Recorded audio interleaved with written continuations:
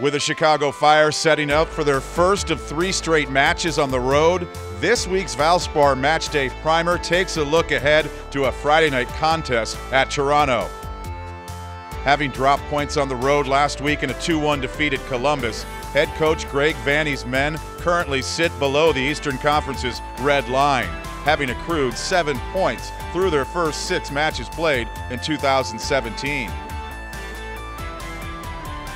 Despite last weekend's result, Toronto forward and U.S. men's national teamer Jozy Altidore kept up his blistering run of form that dates back to July of 2016.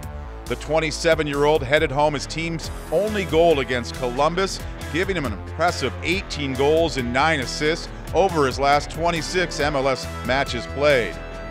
Thanks for watching the Valspar Match Day Primer as the Fire will look to keep their early season momentum afloat with three points in Canada on Friday night. Kickoff set for 6.30 p.m. Central Time. Check out the Fire on Cozi TV, CSN Plus 2, or MLS Live without blackout restrictions.